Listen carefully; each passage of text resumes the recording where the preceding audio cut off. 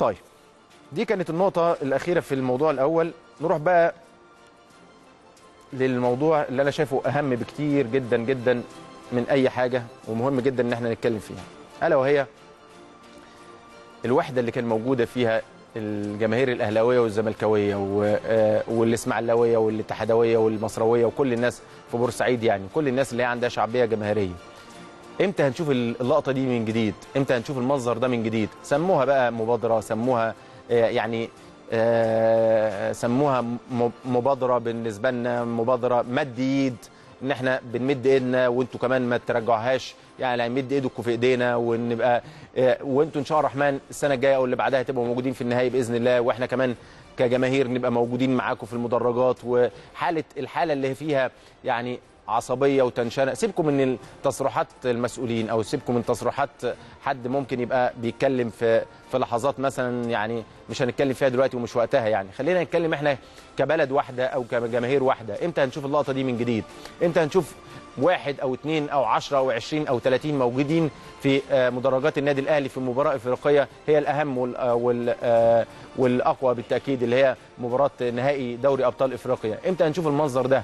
إمتى هنشوف الأعلام اللي هي الزملكاوية والأعلام اللي هي موجودة في المدرجات بتساند وبتآزر وبتشجع النادي الأهلي؟ وإمتى العكس برضه إمتى العكس هيرجع لنا الصورة بتاعت الأهلاوي اللي موجود في وسط مدرجات الأهلي بتيشيرته بعلمه ب آه، ب آه، يعني بيافطة بأي حاجة بتآزر وبتساند الزمالك. إمتى ده؟ سموها زي ما قلت لحضراتكم مبادرة سموها زي ما ما قلت لحضراتكم مد ايد سموها زي ما أنتم عايزين. ملناش علاقة خالص بأي شيء آخر غير المدرجات. يعني بنتكلم بنخاطب الفئة الأكبر والأعظم والأقدر وهي يعني في الأساس هي اللي بتصنع قوة النادي الجماهير هي اللي بتصنع قوة النادي. بص اللقطة الحلوة دي يعني واحد زملكاوي شايل ابنه لابس تيشيرت الأهلي وواعد في وسط آه، الأهلاوية.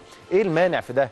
إيه المانع ان إحنا نشوف ده مرة تانية؟ يعني كانت في الستينات والسبعينات والثمانينات والتسعينات كانت بتبقى موجودة بشكل كبير جدا. من أول ما طلعت لنا ثقافة أصل يعني أصل ريال مدريد ما بيحبش برشلونة وبرشلونة ما بتحبش ريال مدريد ومش عارف آه، إي سي ميلان مع إنتر ميلان ومش عارف يعني الكلام اللي هو يعني الفلسفة اللي أنا بسميها فلسفة فارغة.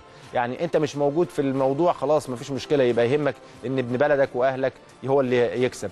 أتمنى أن أشوف الإسماعيلاوي موجود في مدرجات الأهلي. أتمنى أشوف في اليوم ده أتمنى أشوف الزملكاوي موجود في مدرجات الأهلي. وأتمنى أشوف الأهلاوي في آه، بطولة إفريقية أو عربية. يعني أنت مش طرفها أو مش موجود فيها بس فيها نهائي ما بين طرف مصري سواء كان إسماعيلاوي أو زملكاوي أو حتى اتحداوي أو آه، مصراوي ايا كان يبقى موجود يعني واحد من النادي الأهلي بتشيرته عادي جدا بيفطته عادي جدا بعلمه عادي جدا.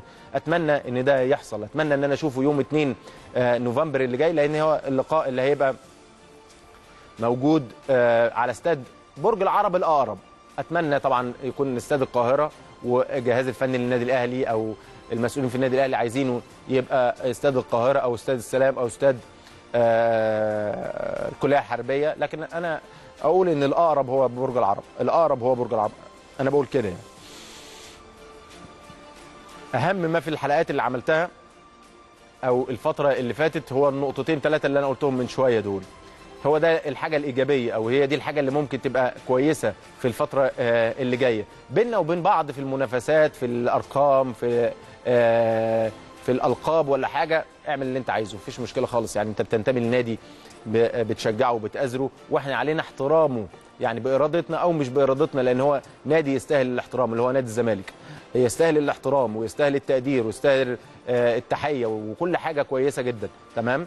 والأهلي كذلك بالنسبة للزملكاوية وبالنسبة للإسماعيلاوية وبالنسبة لل- للاتحادوية وبالنسبة لكل جماهير النادي المصري في كل مكان. دي دعوة حلوة ودعوة إيجابية جدا جدا. وأتمنى الناس اللي هي بتاخد الكلمات تركز على النقط الحلوة والنقط الإيجابية.